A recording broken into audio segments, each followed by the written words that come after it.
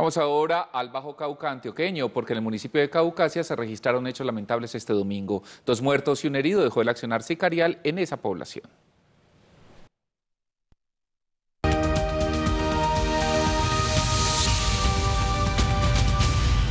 El primer homicidio se presentó en esta vivienda ubicada en el barrio El Prado. Hasta el lugar llegó el sicario y le propinó varios impactos con arma de fuego a un hombre, quien quedó tendido en el corredor de la casa.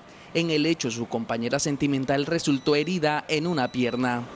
Exactamente la esposa de, la persona fallecida tuvo una lesión por impacto de arma de fuego en una de sus piernas y fue trasladada a la clínica de la municipalidad. El otro homicidio se presentó en el barrio Las Malvinas. La víctima fue identificada como Víctor Alfonso Arrieta Juanes, de 34 años de edad.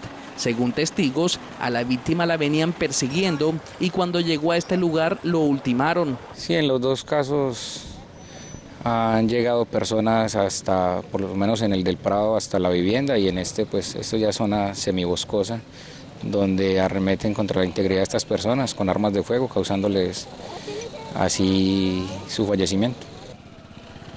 Las autoridades investigan quiénes estarían detrás de estos dos homicidios. Es toda la información para Teleantioquia Noticias. Ceder Narváez desde Caucasia.